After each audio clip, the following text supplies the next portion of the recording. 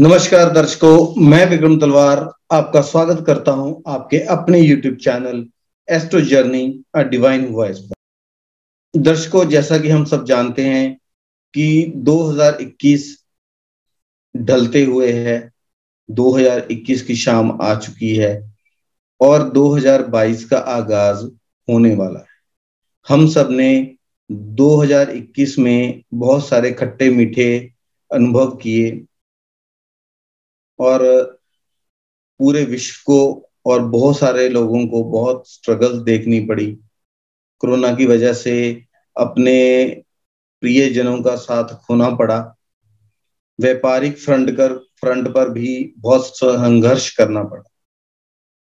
तो आइए आज हम देखते हैं कि मेष राशि वालों के लिए 2022 की सुबह कैसी होने वाली है। 2022 हमारे लिए क्या प्रोमिस लेके आ रहा है? क्या नई उमंगे, नई उम्मीदें हमारे मनों में जगा रहा है? दर्शकों, मेष राशि वालों के लिए हम ये बताने की कोशिश करेंगे विस्तार से कि 2022 उनके लिए कैसा रहेगा। किन क्षेत्रों में वो कंसंट्रेट करेंगे? किन क्षेत्रों में उन्हें उपलब्धियाँ हासिल होंगी? और किन क्षेत्रों में उन्हें संघर्ष करना पड़ेगा? साथ ही हम ये भी बताने की कोशिश करेंगे कि मेष राशि वालों के लिए हर महीने में अगर वो विवाह के योग्य हैं, उनका विवाह होने वाला है तो हर महीने में कौन सी तारीख को मुहूर्त उनके लिए शुभ रहेगा? ये हम विस्तार से बताएँगे, पूरे साल के लिए बताएँगे। तो आप हम, हमारे साथ बने रहिए। वीडियो को अंत तक देखिए। अगर आपको वीडियो थोड़ा लंबा लगे तो उसको डाउनलोड कर लीजिए, पार्ट्स में 10-10 20 मिनट मिनट करके देखिए। हम आपकी राशि के साथ होने वाले सभी घटनाक्रम को इसमें कवर करने की अपनी तरफ़ से पूरी कोशिश करेंगे। सबसे पहले हम जानेंगे कि मेष राशि वालों के लिए जो ग्रह स्थिति है, वो कैसी रहने वाली है। दर्शकों, सबसे पहले आप इस बात पर ध्यान दीजिए कि अगर आपका चंद्रमा मेष राशि में है और आपका अगर लगन जो पहली राशि है उसमें एक लिखा हुआ आता है, या आपका चंद्रमा इस जो भाव में स्थित है तो आपकी मेष राशि है। तो ये जो राशिफल है 2022 का ईयरली फोरकास्ट है, ये आपके लिए है। देखिए, सबसे पहले अगर हम राहु महाराज की स्थिति देखें तो द्वितीय भाव में टॉरस साइन के अंदर विराजमान रहेंगे। ये ग्रह स्थिति उस समय की है जब मॉर्निंग में 2022 की सुबह में सूर्योदय होगा। चंद्रमा जो है सिंह राशि में स्थित रहेंगे। अष्टम राशि में वृश्चिक में मंगल और केतु स्थित रहेंगे। सूर्य और बुध जो है, वो नवम भाव में धनु राशि में स्थित रहेंगे। शनि और जो वीनस है, शुक्र हैं, वो आपके दशम भाव में कैप्रिकॉन साइन में रहेंगे, मकर राशि में रहेंगे। जो बृहस्पति हैं, वो कुंभ राशि के अंदर, कुंभ राशि में स्थित विराजमान रहेंगे, जो आपका ग्यारहवा भाव है। तो ये ग्रह स्थिति रहेगी सूर्य उदय के समय जब हम 2022 में प्रवेश करेंगे, कुंभ राशि वाले के लिए। तो अगर हम इसमें देखें कि जो गुरु हैं, वो तेरह अप्रैल तक, जो हैं, वो कुंभ राशि में विराजमान रहेंगे। तेरह अप्रैल को तीन बजकर अड़तालीस मिनट पर जो गुरु हैं वो आपके द्वादश भाव में आ जाएँगे, बारहवें भाव के अंदर आ जाएँगे। तो तेरह अप्रैल तक जो स्थिति है, वो मेष राशि वालों के लिए बहुत ही शुभ और लाभदायक बनी हुई है। यहाँ मैं अपने दर्शकों को ये बता देना चाहता हूँ, जब हम वार्षिक राशिफल देखते हैं तो उस समय जो वार्षिक राशिफल है, वो बृहस्पति और शनि की पोजीशन से देखा जाता है। जो मासिक राशिफल है, वो सूर्य के गोचर से देखा जाता है और जो दैनिक राशिफल है, उसमें चंद्रमा का जो गोचर है, वो महत्वपूर्ण रहता है। मैं यहाँ पर ये नहीं कह रहा हूँ कि बाकी ग्रहों का कोई महत्व नहीं है, लेकिन जो ज्योतिषीय सिद्धांत के अनुसार जो हम वार्षिक राशिफल देखते हैं उसमें हम बृहस्पति और शनि के जो गोचर को बहुत ज़्यादा महत्वता देते हैं। तो आइए अब हम यहाँ पर देखते हैं कि जो गुरु हैं,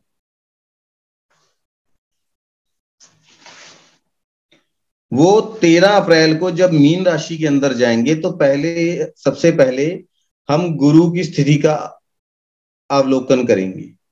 जो गुरु महाराज हैं, बृहस्पति हैं, जो देवों के गुरु हैं वो मीन राशि में प्रवेश करेंगे तीन बजकर अड़तालीस मिनट पर। और 28 जुलाई को गुरु महाराज आपके द्वादश भाव में वक्री हो जाएँगे रात के दो बज के नौ मिनट के आसपास। और तेरह नवंबर को जो है चार बजकर सत्ताईस मिनट सुबह वो मार्गी होंगे। तो दर्शकों जो अधिकांश समय बृहस्पति हैं, आपके बारहवें भाव में स्थित रहेंगे और साल भर, तेरह अप्रैल के बाद लगभग पूरा साल जो है, वो मीन राशि के अंदर गोचर करेंगे। और हम अगर हम देखें कि 20 नवंबर को जो गुरु थे, वो दसम भाव से गोचर इन्होंने अपना जो स्थान चेंज किया था परिवर्तन किया था 20 नवंबर को वो कुंभ राशि में आ गए अब जो मेष राशि के जातक जो प्रॉब्लम्स को फेस कर रहे थे अपने वर्क प्लेस को लेकर, अपने प्रोफेशन को लेकर, अपने आय को लेकर, उन प्रॉब्लम से उन्हें धीरे धीरे जो है, वो निजात मिलनी जो है शुरू हो गई है। मेष राशि वालों के लिए जो 20 नवंबर से लेकर 13 अप्रैल तक का जो समय है टाइम स्लॉट है, वो बहुत ही अच्छा रहने वाला है। जो एकादश भाव है, वो हमारे वैवाहिक जीवन के सुख का, हमारी जॉब से होने वाली आय का, हमारी जॉब का, हमारे नेटवर्क का, हमारे फ्रेंड्स का जो कोई भी कार्य में हम अपना हाथ डालते हैं, उसमें मिलने वाली जो सक्सेस का नेम और फेम का, हमारी मन भावन जो जॉब है, जो हमारा कार्य क्षेत्र है, जो हमें पसंद है, हमारे कार्य क्षेत्र से जो मिलने वाली सेटिस्फेक्शन का भाव है, जो हम सोशल सर्विस करते हैं, उनका भाव है हमारे जो उच्च पदाधिकारी हैं, जो हमारे हाई ऑफिशियल्स हैं, उनके साथ उनकी कृपा दृष्टि हम पे कैसी रहती है, उनके साथ हमारे संबंध कैसे रहते हैं, इन सबको, इन सबसे सब तो गुरु महाराज ग्यारहवें भाव में जब गोचर करेंगे तो वो मेष राशि वालों के लिए बहुत ही शुभ और लाइफ का मेमोरेबल पीरियड होने जा रहा है। बृहस्पति जो है मेष राशि वालों के लिए नवम भाव के भाग्येश होने के साथ साथ द्वादश भाव के वैश्य का जो रोल है वो निभाते हैं। जो मेष राशि वाले हैं उनके लिए ग्यारहवें भाव में जाने से जो अब तक उनके आ, हेल्थ के ऊपर हॉस्पिटलाइजेशन के ऊपर अगर कोई खर्चे हो रहे हैं तो उनसे उनको निजात काफ़ी हद तक मिलेगी, राहत की सांस उनको देखने को मिलेगी। उनके जो पिता के भाव को भी गवर्न करते हैं और जो इलेवेंथ हाउस होता है, वो हमारे चाचा का भाव भी होता है। अपने सगे संबंधी, अपने चाचा, अपने जो आपके पिता के छोटे भाई हैं उनसे अगर किसी बुज़ुर्ग की सेहत के ऊपर आपका हॉस्पिटलाइजेशन में काफ़ी खर्चा हो रहा था वहाँ आपको उनकी सेहत में सुधार होता हुआ नज़र आएगा। आपका जो फ्रेंड सर्कल है उसमें जो है आपका नेटवर्किंग में जो आपकी आ, कमी हो रही थी जो उनका सहयोग आपको नहीं मिल रहा था वो सहयोग मिलने लगेगा। ये स्थिति जो है तेरह अप्रैल तक बनी रहेगी। जो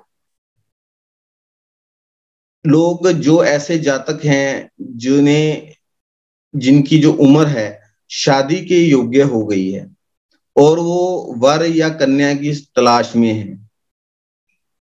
तो 13 अप्रैल तक का 20 नवंबर से लेकर 13 अप्रैल तक का जो समय है, वो बहुत ही ज़्यादा शुभ है कि वो अपने जीवन साथी की सिलेक्शन के लिए मैरिजेस के लिए, मंगनी वगैरह करने के लिए, क्योंकि इस समय में बहुत स्ट्रॉन्ग चांसेस रहेंगे कि आप एक ऐसे जीवन, अपने मनपसंद जीवन साथी का चुनाव कर पाए।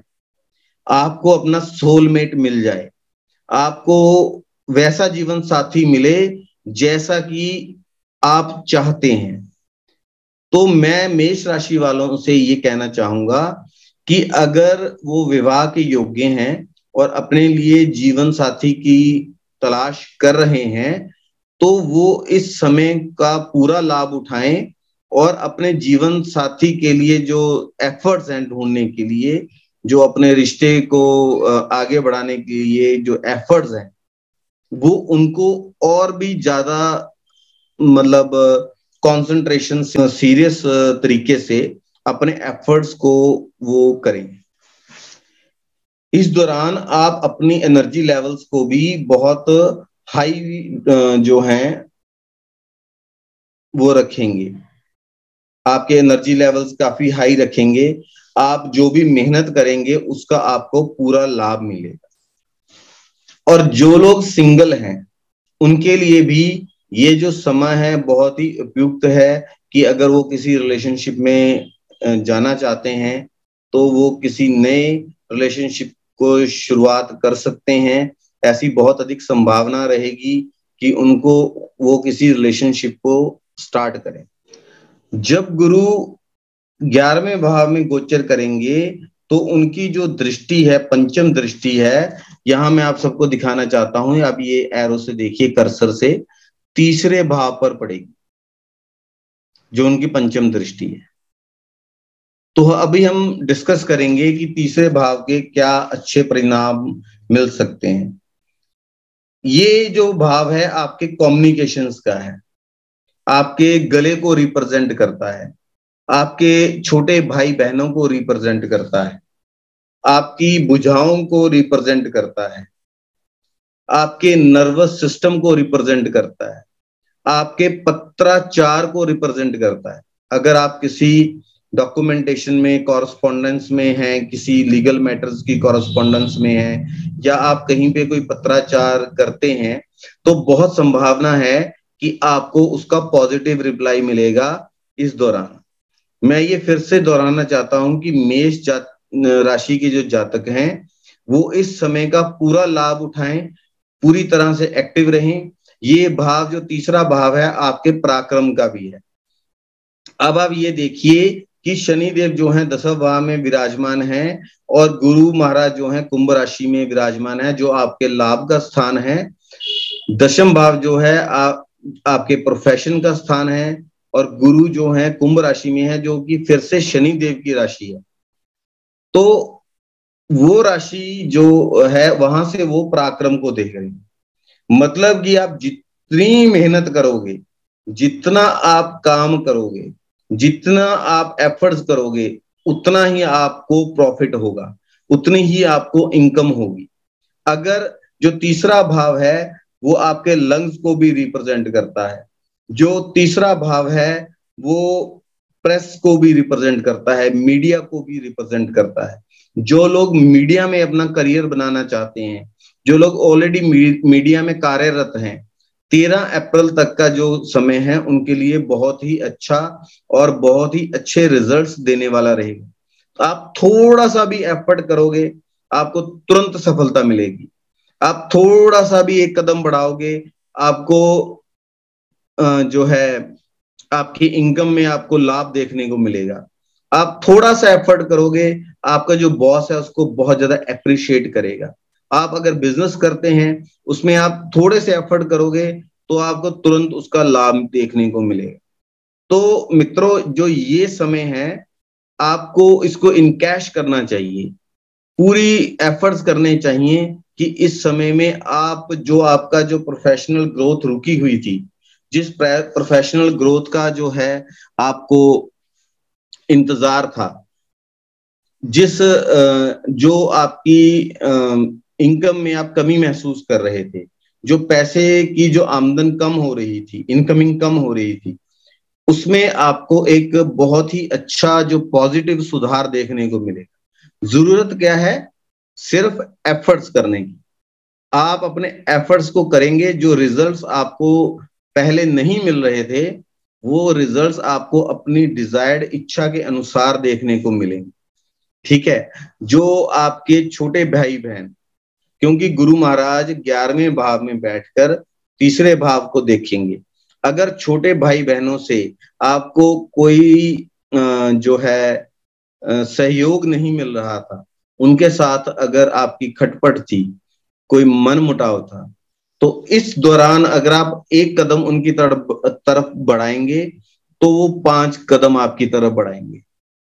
आपको अपने अगर पड़ोसियों से आपके संबंध अच्छे नहीं थे तो ये समय बहुत अच्छा रहेगा उनके साथ अपने संबंधों को सुधारने का और उनसे लाभ लेने का। जो ये समय है, जब गुरु ग्यारहवें भाव में बैठकर जो है आपके पंचम तीसरे भाव को देखेंगे, उस समय ये जर्नलिस्ट के लिए बहुत ही अच्छा समय रहेगा।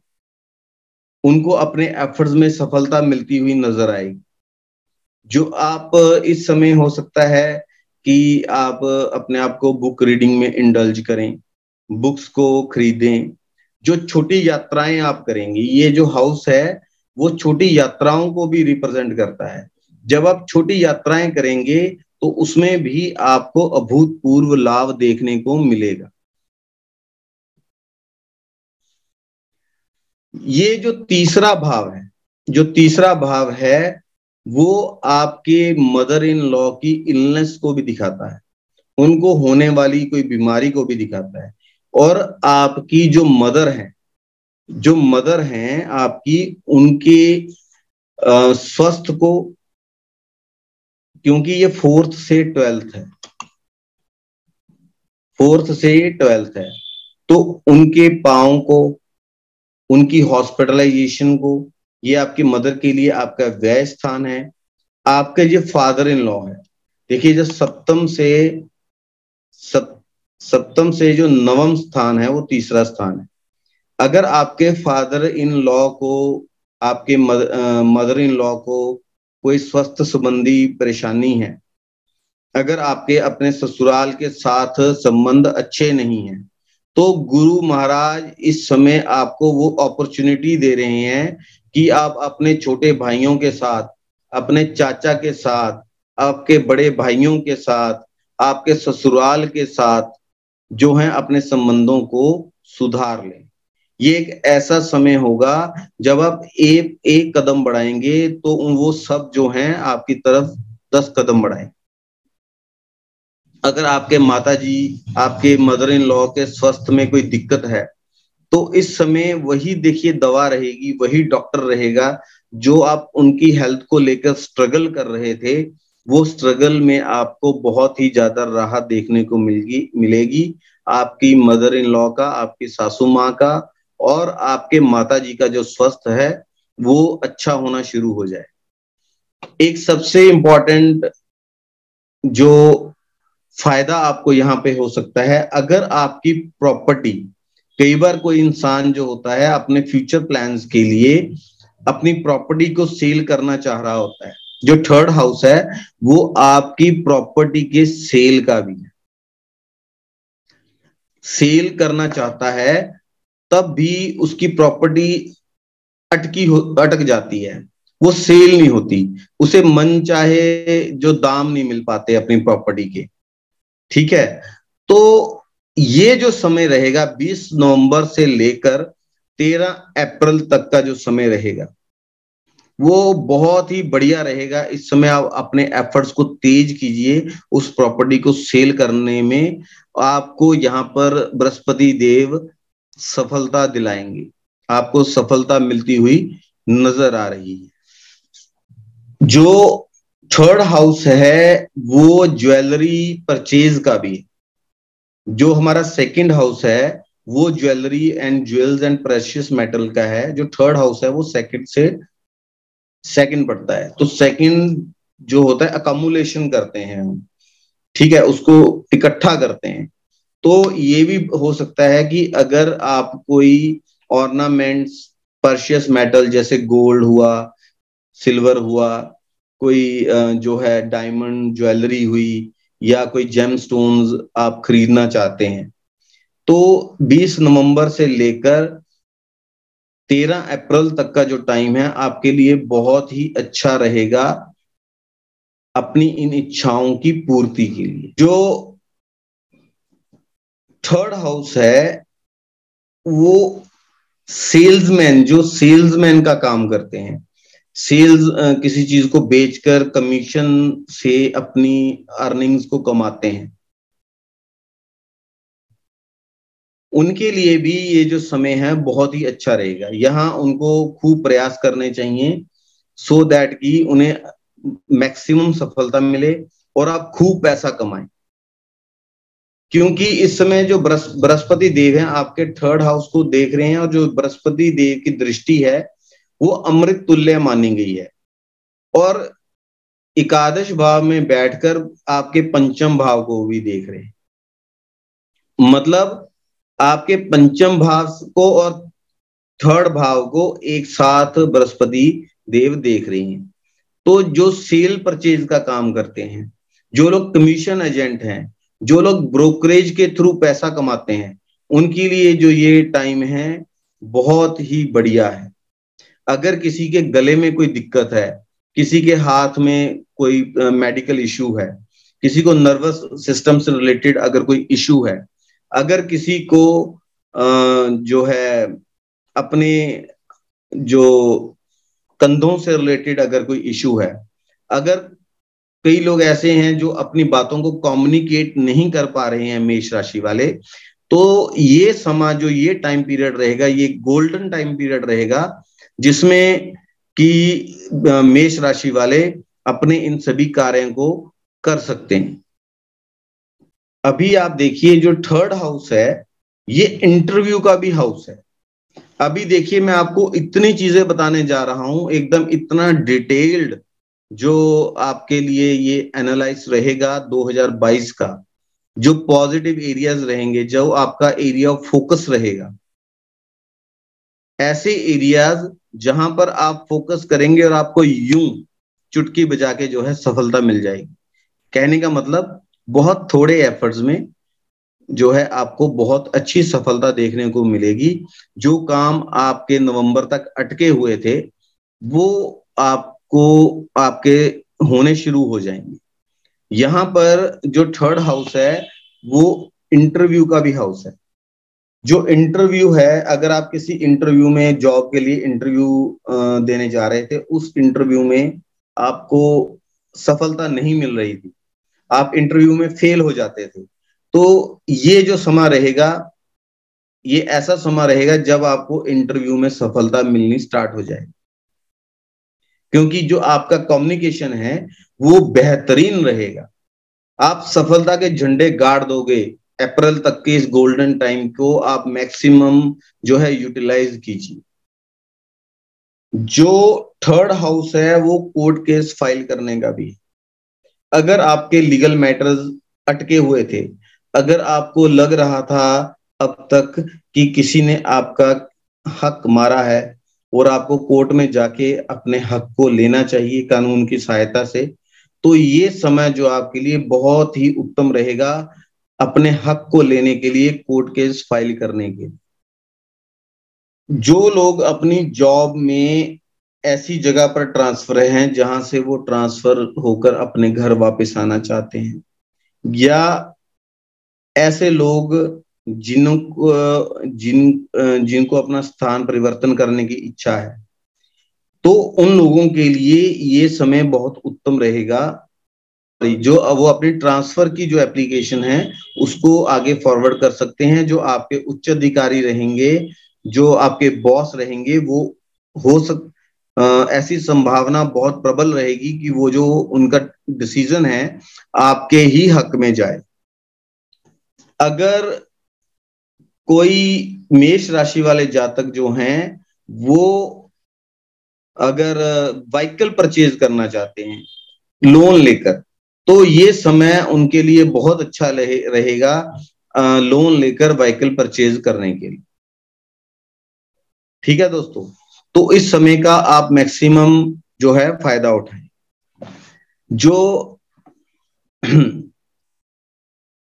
20 नवंबर से लेकर 13 अप्रैल का जो समय है, वो मेष जात राशि वाले जो जातक हैं, उनके लिए अपने विवाह को करने विवाह अगर वो करना चाहते हैं, या अगर आप बुज़ुर्ग अगर आपके जो बच्चे हैं वो मेष राशि के हैं और विवाह योग्य हैं तो ये जो समय है विवाह करने के लिए बहुत ही उत्तम समय है मेष राशि वालों के लिए।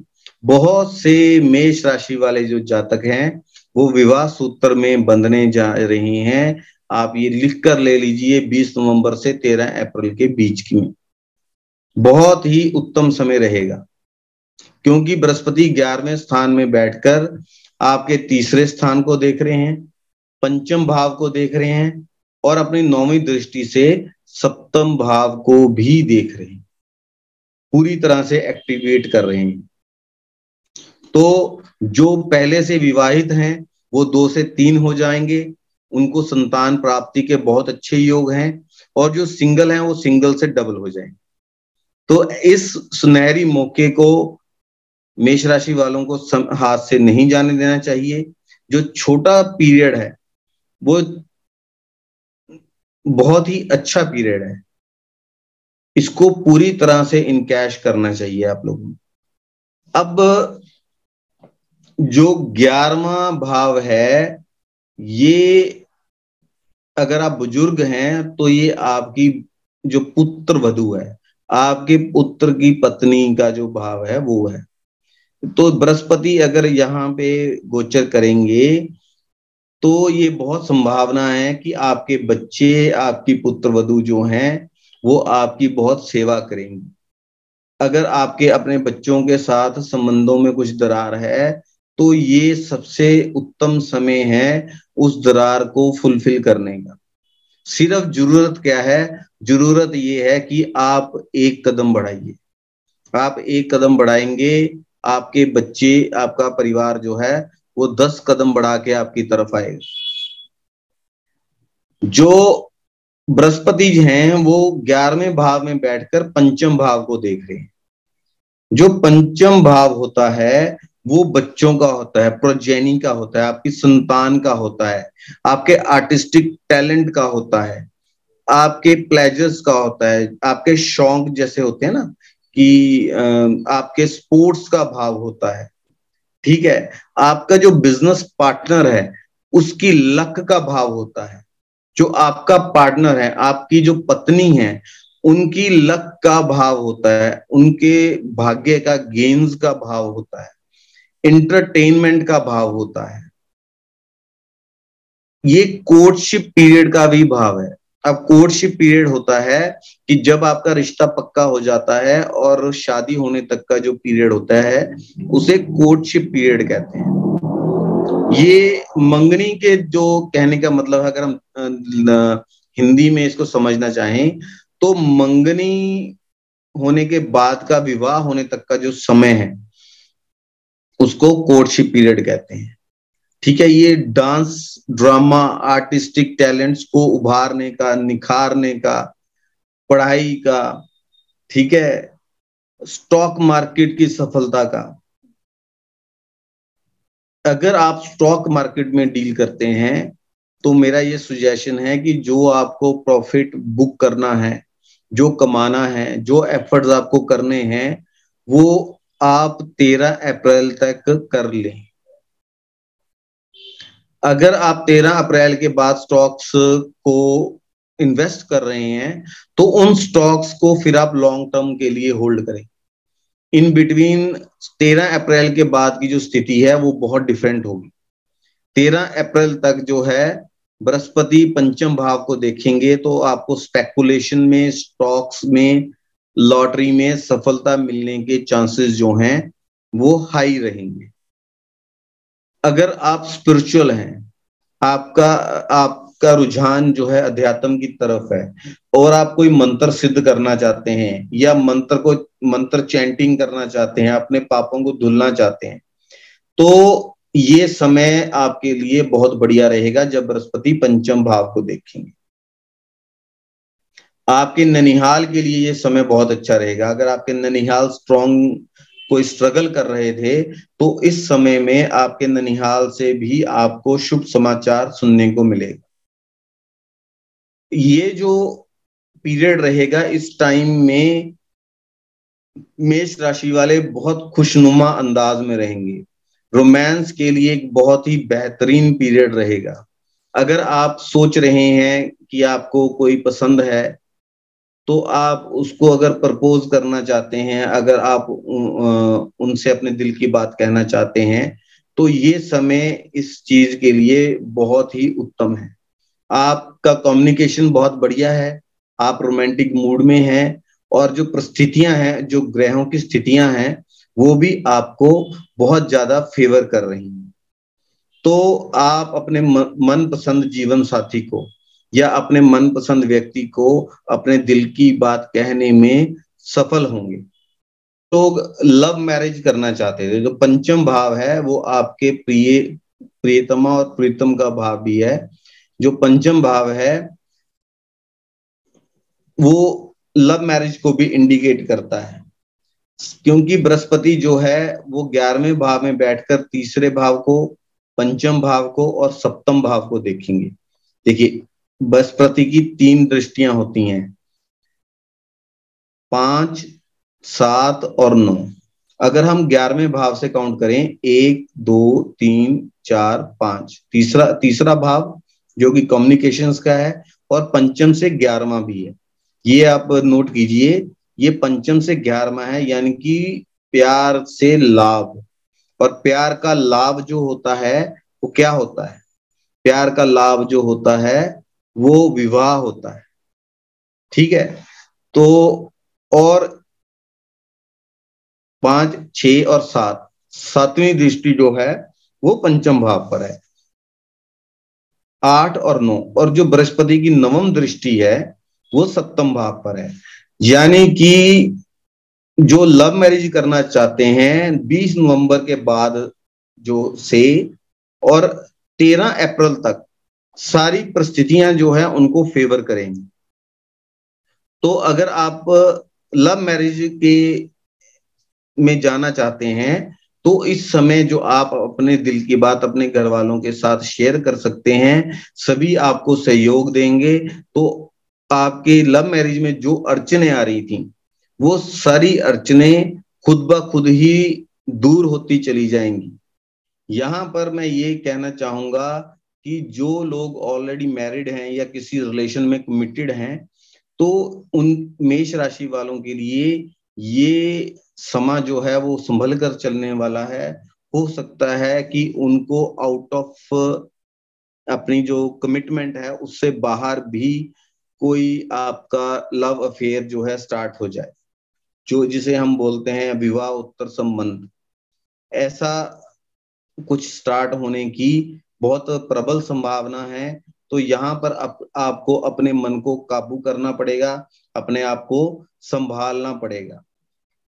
जो लोग सिंगल थे, उनके मन में प्रेम की जो उमंग एकदम से विचार आने लगेंगे। रोमांटिक हो जाएँगे, जैसा कि मैं पहले बोला। मेष राशि वालों के लिए कोई नया संबंध, कोई जो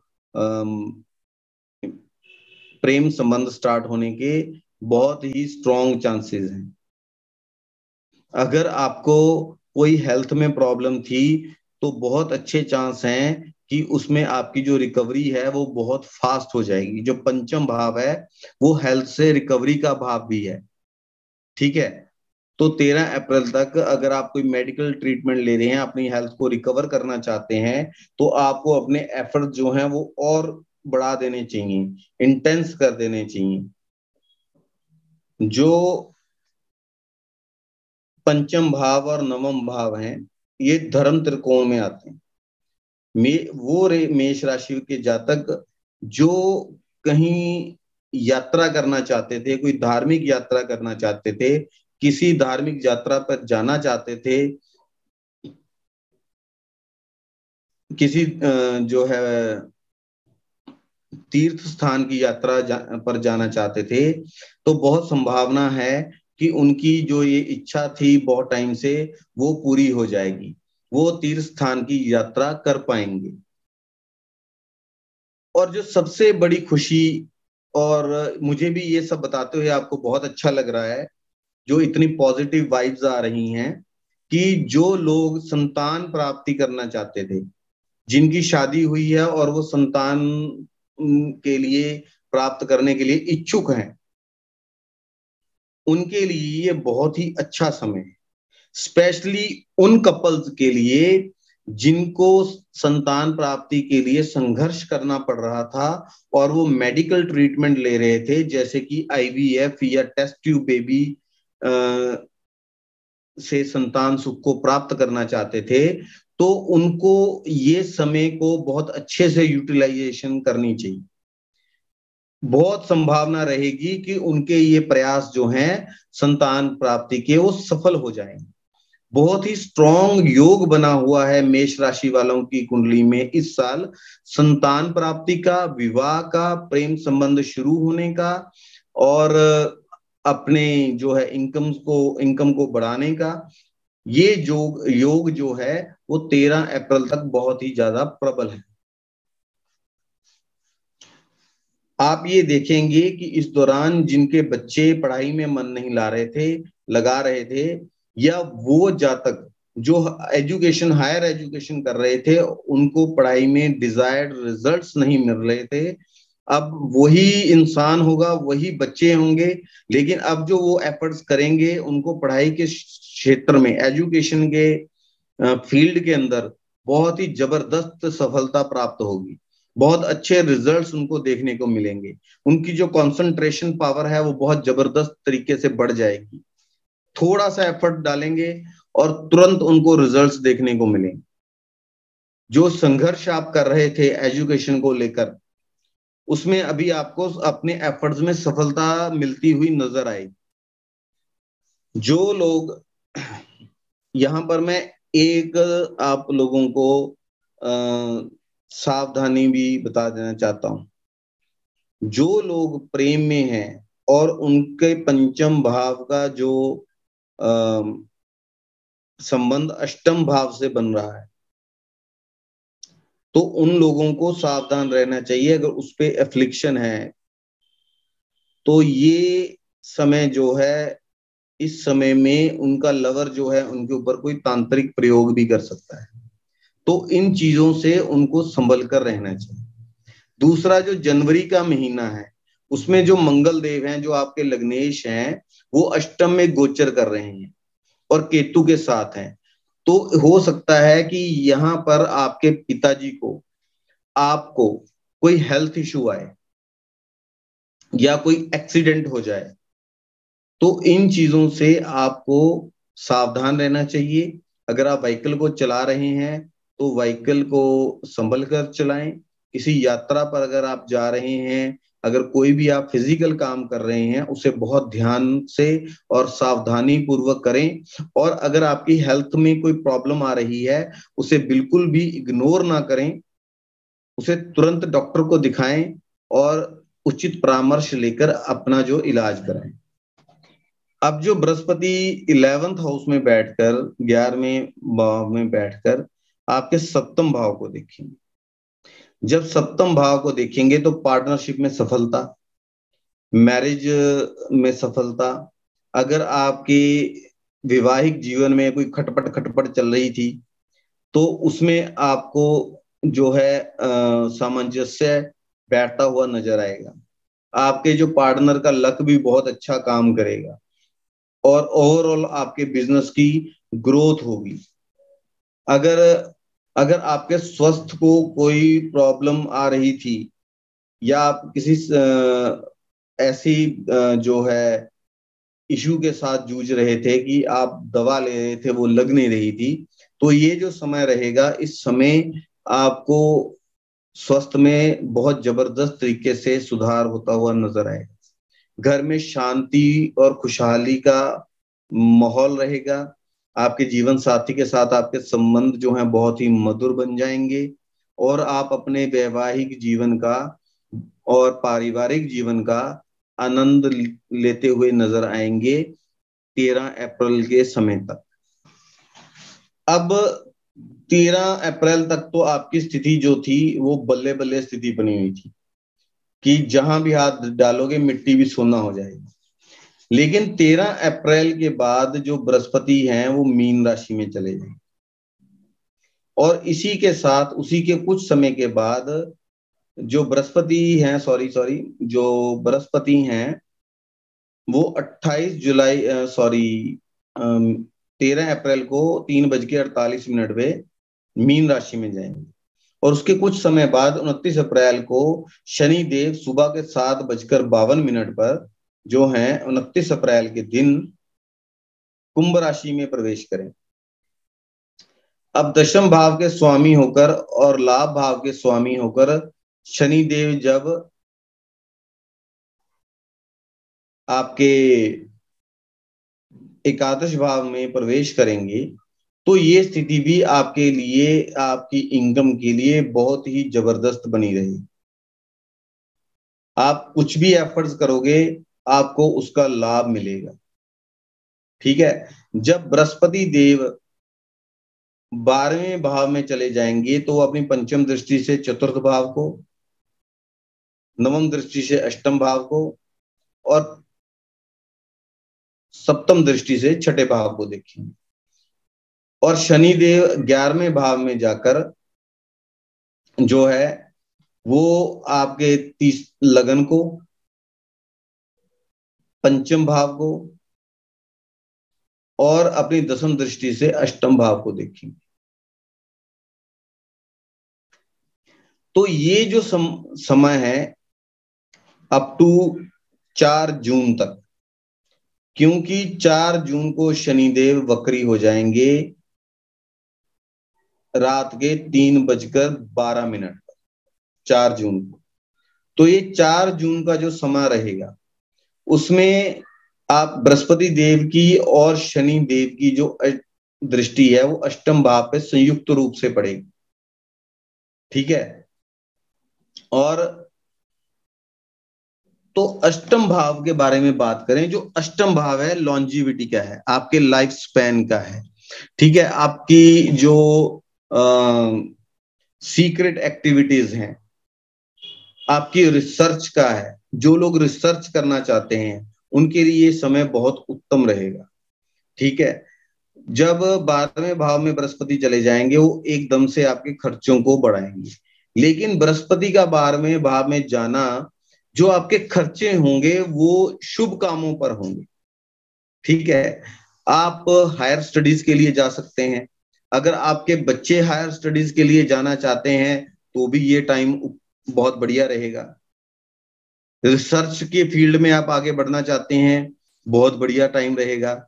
जो आपके फादर जिनको कोई प्रॉब्लम आ रही थी हेल्थ में कोई इशू आ रहा था, ये टाइम उन, उस हेल्थ इश्यू को क्योर करने के लिए भी बहुत बढ़िया रहेगा। अगर आपका एट्थ हाउस अफ्लिक्शन में है तो हो सकता है कि आपको उनकी हॉस्पिटलाइजेशन पर भी खर्चा करना पड़े। लेकिन उस हॉस्पिटलाइजेशन के में आपके जो फादर हैं, उनको जो है स्वस्थ लाभ होता हुआ दिखाई दे रहा है। पॉजिटिव साइड में ज़्यादा मतलब वो जो खर्चा है, वो आपको फ़ायदा देगा। ठीक है?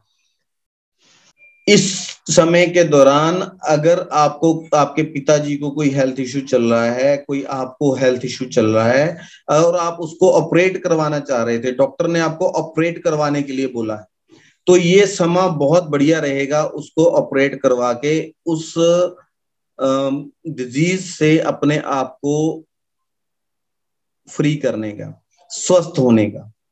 जो ये अष्टम भाव है, यहाँ पर अगर बृहस्पति महाराज और शनि देव की दृष्टि पड़ रही है तो इसकी इंपॉर्टेंस बहुत बढ़ जाती है।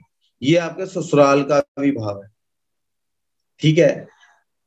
ये जो भाव है, आपकी स्पाउस के स्पीच का भाव भी है। तो आपको इस दौरान अपने ससुराल के अंदर, अपने इन लॉज के साथ कोई इवेंट होता हुआ नज़र आएगा। उनको गेन्स होते हुए नज़र आएँगे। उनके काम बनते हुए नज़र आएँगे। आपकी जो वाइफ रहेंगी, आपकी जो स्पाउस रहेगा, जो हस्बैंड रहेंगे, उनकी जो वाणी होगी, वो बहुत ही मेच्योर बात करेंगे सियानी बातें करेंगे। बहुत सारा विजडम उनकी बातों में बहुत सारा विजडम रहेगा। सोच समझ के बात करेंगे। तो वहाँ से आपको बहुत सारा जो है, एक राहत की सांस मिलेगी। आपका जो पारिवारिक जीवन है, उसमें आपको अच्छे काम होते हुए नज़र आ जाए। लेकिन जो लोग शेयर मार्केट में इन्वेस्ट करते हैं, उन्हें मैं ये सजेस्ट करूँगा कि जो, तेरह अप्रैल से पहले पहले उनको जो अपने ऑपरेशन हैं जो आपका काम है, उसको कंप्लीट कर लेना चाहिए। अगर उसके बाद वो कुछ इन्वेस्टमेंट करते हैं तो फिर वो उन इन्वेस्टमेंट्स को लॉन्ग टर्म के लिए रखें। क्योंकि जो शनि देव हैं, वो चार जून को बकरी हो जाएँगे और 12 जुलाई को मकर राशि में दोपहर के दो बज के बावन मिनट पर प्रवेश कर जाएँगे। और जो गुरु हैं, वो भी लगभग अट्ठाईस जुलाई को वक्री होंगे और रात के दो बजकर नौ मिनट पर वो वक्री होंगे। तो इस समय शनि और गुरु जो दोनों ही वक्री होंगे। तो जो आपका जो इस साल में धमाकेदार पीरियड चल रहा था तो ये समय होगा उस पर ब्रेक्स लगाने का, कॉशन लेने का, अपने आप को सचेत करने का, सोच समझकर कार्य करने का। क्योंकि जब बृहस्पति देव बकरी होंगे और उसी टाइम पे शनि देव बकरी होंगे और मकर राशि में प्रवेश करेंगे तो ये प्रोफेशन के फ़ील्ड में आपको प्रॉब्लम्स देगा। वहाँ आपको बहुत सोच समझ के कार्य करना चाहिए। कोई बहुत बड़े रिस्क नहीं लेने चाहिए। बॉस के साथ थोड़ी मिसअंडरस्टैंडिंग हो सकती है। उस मिसअंडरस्टैंडिंग को अवॉइड करना चाहिए। उस टाइम पे आपको चाहिए कि आप संयम से काम लें और अपने बोस की बात सुने। यहाँ पर जब शनिदेव वक्री होंगे, मैं अपने व्यूअर्स को एक उपाय बताना चाहता हूँ कि वो पीपल पर शाम को दिया जलाएँ, संडे को छोड़कर। एक, शनिदेव का मंत्र जप करें, ठीक है। दो, बृहस्पति देव का बृहस्पति देव का वीरवार वाले दिन केले में जल चढ़ाएँ, मीठा जल चढ़ाएँ, चने की दाल जो है मंदिर में दान करें, ठीक है? और जिसको शनि देव के वक्री होने से अगर किसी की स्ट्रगल्स ज़्यादा बढ़ रही हैं तो उसको चाहिए कि वो इंसान 800 ग्राम जो साबुत माँ की दाल है ब्लैक कलर की जो लेंटिल्स होती हैं, उसको सरसों का तेल लगाकर उसे सैचड़े के सैचड़े जल प्रवाह कर। लेकिन ये उपाय करने से पहले मैं आप सबको ये रिक्वेस्ट करना चाहूँगा कि आप अपनी कुंडली का जो है विश्लेषण करवाएँ। उस विश्लेषण को करने के बाद ही आप इन उपायों को करें। कोई जु, कोई ज़रूरी नहीं कि शनिदेव जब वक्री होंगे तो सभी मेष राशि वालों को दिक्कत आ जाएगी। वो डिपेंड करता है आपकी जन्म कुंडली में ग्रहों की स्थिति क्या है इसके ऊपर ठीक है? तो उसको एनालाइज करने के बाद ही उसको चेक करने के बाद ही उसका विश्लेषण करने के बाद ही आप कॉन्क्रीट लेवल पे कोई उपाय कर सकते हैं। ठीक है? ये जो हम बात करते हैं, ये हम एक जर्नल ट्रेंड की बात करते हैं कि जर्नली जो ट्रेंड है, वो कैसा रहेगा? जर्नल ट्रेंड का मतलब ये है कि 100 में से 80 70 या 80 लोगों को इस प्रकार के जो हैं अनुभव होंगे। ठीक है?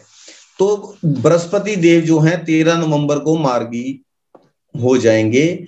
रात के, सॉरी, सुबह के चार बजकर सत्ताईस मिनट पर।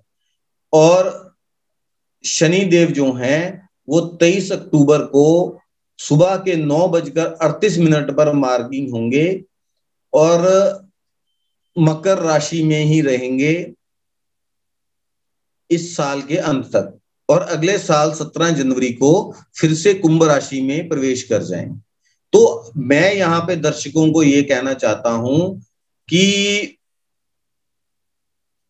वो 28 जुलाई 12 जुलाई से लेकर 23 अक्टूबर तक विशेष तौर पर सावधान रहें। और बृहस्पति महाराज से रिलेटेड और शनि महाराज से जो रिलेटेड है, उनसे रिलेटेड उपाय करें। हाँ अप टू बारह जुलाई तक जो मेष राशि के जातक हैं, वो जो स्थान परिवर्तन करना चाहते हैं, जो विदेश में सेटल होना चाहिए, चाहते हैं, क्योंकि हमारे यहाँ पंजाब में विदेश में सेटल होने का बहुत ही क्रेज रहता है तो जो विदेश में सेटल होना चाहते हैं, उनके लिए भी ये समय जो है बहुत ही बढ़िया है। उनको अपने एफर्ट्स को इंटेंसिफाई करना चाहिए, अपने एग्ज़ाम्स वगैरह जो उनको देने हैं, उनको पढ़ना है उसके लिए, उसकी तैयारी ज़ोर शोर से करनी चाहिए और विदेश जाने के लिए अपने एफर्ट्स को गति देनी चाहिए। ये मेष राशि वालों के लिए ये समा जो है विदेश जाने के लिए भी बहुत अनुकूल रहेगा अप टू 12 जुलाई। अब हम बात करेंगे कि वर और कन्या जो विवाह योग्य हैं जिनकी मंगनी हो चुकी है जा यो विवाह करना चाहते हैं तो किस महीने के अंदर कौन कौन सी डेट्स हैं वो सुटेबल रहेंगी? मुहूर्त। ठीक है जी? जो वर है तो जनवरी में 22, 23, 24 और 25 कन्या के लिए भी 22, 23 और 24 जो डेट का मुहूर्त रहेगा वो उनकी मेष राशि के अनुसार जो जातक हैं, उनके लिए बहुत बढ़िया रहेगा। जो फरवरी महीने में पाँच, सात, नौ, दस, अठारह, उन्नीस और और जो बीस तारीख है, उसमें बहुत बढ़िया मुहूर्त रहेगा वर के लिए। छह तारीख को भी मुहूर्त बहुत अच्छा रहेगा, लेकिन वहाँ पे उनको करना क्या है कि जब उनके फेरे हो रहे हैं तो चंद्रमा से संबंधित जो वस्तुएँ हैं, उनका दान करना है। ठीक है? जैसे कि दूध हो गया, चावल हो गया, इस तरीके से। जो कन्या है फरवरी के महीने में, उनके लिए पाँच, छ, सात, नौ, दस, अठारह, उन्नीस और बीस तारीख का जो मुहूर्त है, वो बहुत बढ़िया रहेगा।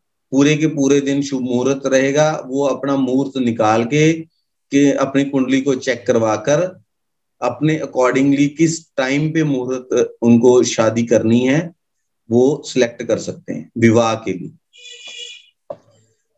अब मार्च में कोई मुहूर्त नहीं है, ना वर के लिए, ना कन्या के लिए।